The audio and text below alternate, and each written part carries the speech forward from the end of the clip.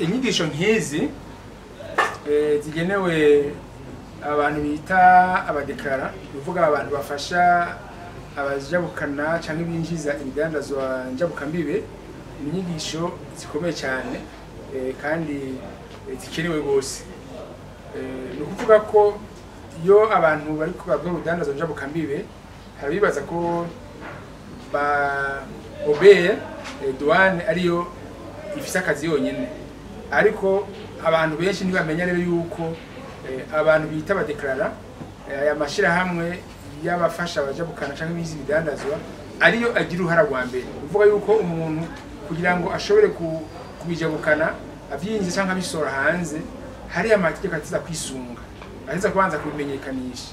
Ibyo rero bikabanza guhera kuri uwo muntu bita umudekarara uyu muntu rero iyo akora ibintu atazi bifite ingaruka mbi kandi nyinshi cyane rwose eh, ku butunzi bw'igihugu no ku butunzi bw'umugwizatunga wenyine eh, yari akora kuri ubwo budandazwa niyo mpamvu rero eh, abantu benshi bakunda kubafata nk'aba- nk'abakomisiyoneri abakomisiyoneri dusanzwe kumva ariko si- siko biri kuko bakora akazi gateganije n'amategeko. Mu gihe bakora akazi gateganije n'amategeko bisabwa yuko bagakora eh, bagakora bafise ubuhinga n'ubumenyi bikwiye kugira ngo ntibashire nk'amakosa. Rero izi nyigisho nico zi- zitumbereye kugira ngo eh, bongereze ubu- ubumenyi abo bantu bakora ico gikorwa kugira ngo bakore ibintu bazi bakore ibintu bisunze amategeko bakore ibintu bitari nk'amakosa bidahomvya abadandaza n'abagwizatunga kandi bidahomvya leta mu guharura amakuru n'amatagisi aciye ku bidandazwa njabukambere niyo ntumbero y'ibyo vyigwa rero eh, twatanguje uno munsi eh, bazokwiga amezi atandatu hanyuma ikaba ari urutonde rw'ivyigwa bumvikanye ko mu karere kose mukaba musanzwe muzi yuko turi mu karere ko muri afurika y'ubuseruko ibijyanye n'urudandazwa njabukambibe turafise itegeko rimwe twese dukurikiza y'ibihugu bitandatu biri mu mugwi umwe. Bigasabwa rero yuko abo bantu rero eh, baharura amakori atangwa ku bidandazwa njabukambibe baharura ari uko bavyumva bitahura. Kandi n'ayo mategeko twisunga nk'ibihugu biri mu mugwi umwe bayazi batahura nyine akora hanyuma n'ibiciro vyisungwa mu gu- mu gu- mu gushinga amakori n'amatagisi bumvikanye ko mu karere bakaba bayazi bazi n'ingene akora hama rero bakaba bafise n'akarangamutima rero eh, k'akazi kabo eh, ba- bakora kajanye no kumenyekanisha ibidandazwa by'aba- by'abaguzatunga abadandaza bagira ibidandazwa njabukambibe Eh, uyu mwuga ni umwuga uhambaye cyane gusa ni umwuga ugoye ni umwuga usaba ubwitonzi usaba ubumenyi usaba kwitanga.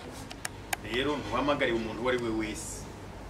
Kugira ngo ukore uwo mwuga ni uko uba ufise ubumenyi ukawukora ukunda kandi ukawukora ufise intumbero yo kwiteza imbere no guteza imbere abandi na cyane cyane abo mukorana no kuvuga. Abo bagwizatunga bakorera akazi abo muri obeye baserukira leta mu gutoza amakori. Naha rero twe tuvuga tuti umuntu abamuja muri ubu mwuga. Ategezwa kuba afise ubumenyi bukwiye. Nico gituma twaje ngaho kugira ngo twerekane yuko ubumenyi bukwiye. Kugira ngo umwuga ukogwe tunganijwe gutya. Nabasiguriye ingene ubwo bumenyi tubutanga n'ingene abahamagariwe kuburonka baheza bakaburonka.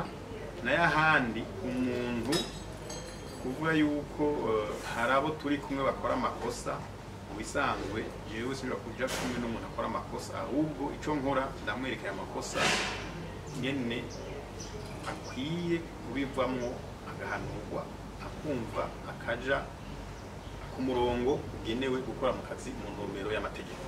Naha rero twese tubahamagarira kuza kwiga ayo mategeko hanyuma abatagomba kuza kwiga gukorerwa amategeko twebwe turahanura isanzwe ababijejwe nabo dukorana batujejwe ni bubere icyo nasaba ni uko tuza tukaja hamwe. Tukiga ico kibazo. Kugira ngo uwo ari we wese amakora muri uwo mwuga. Awinjiyemo awufitiye ubumenyi buhambaye bukwiye ubundi aje kubisigura. Kandi nibaza yuko oberi ivyumva kandi tuzobikorana niko kamonda bateye nteye aba badeklara nteye na oberi kugira ngo tuje hamwe duko- dukore mu ntumbero yo guteza imbere umwuga wacu. Kugira ngo uwo ari we wese atorera yoka akora akazi koroshe. Ari leta ari umudandaza ari ni we mudeklara bose bakore babona umuceri mwumvise igitiri cy'abantu bategereza kwiga n'uno munsi batarashobora kuro- kuronka izo nyigisho. Ibyo rero bikagira inkurikizi y'uko usanga ari hahandi usanga rero eh, bakoze igikorwa nabi ugasanga bigize ingaruka yo gutuma haba imigenderanire atari myiza hagati y'ikigo obere n'abadandaza bakora ubudandaza njyabukambibi ibyo rero bifite ingaruka mbi iyo aba- abadandaza bat- batagize imigenderanire myiza n'ikigo obere mba yuko igikorwa cyabo n'igikorwa cyo gutoza amakori kidaheza ngo kigende neza. Eh, akandi gahaze ni uko muri abo nyine bataronse izo nyigisho baba bariko barakora ivyo bintu usanga bakora amakosa menshi bigatuma amakori yari kwinjira mu kigega cya leta anyuruzwa anyuruzwa nabo nyene canke akanyuruzwa nabo bafatikanije n'abadandaza eh, kubera ko babiteguye canke kubera babikoze hagiyemo amakosa ikindi iyindi ngaruka mbi ni uko usanga iyo bakoze ibintu nk'amakosa bituma haba imanza ugasanga abadandaza bagiye kwitwarira ikigo bera bati cabaciye amakori arenze amakori atategereza gutozwa kandi byavuye ku makosa y'abo bantu bakoze ayo madosiye yabo. Ubwo rero mu kacahaze twifuza yuko eh, muri kazoza ka hafi abantu bokora umwuga wo kumenyekanisha ibidandazwa eh, by'abadandazwa njyabukambibe bobo bari abantu babyigiye babifitiye ubumenyi. Nimba uno munsi twuguye ishuri ya mbere ikaba yuzuye. Nanabivuze no mu ijambo ry'intangamarara n'ubu tubandanya twandika ishuri gira kabiri tubigejeje hagati. Abacerewe nibaze tubakire kandi ntawe uzosigara inyuma. Naho ishuri gira kabiri yokuzura n'abandi tuzobakira twamiza ko ko ni igikorwa ca misi yose.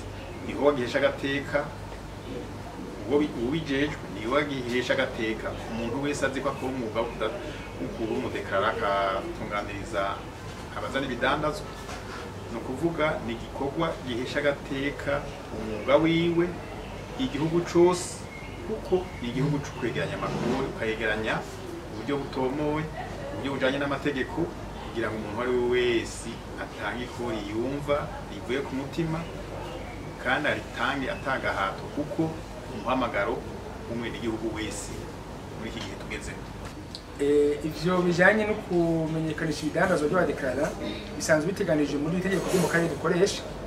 Itegeko eh, East East African eh, Customs Management Act itegeko rigenga amaduwani yo mu karere.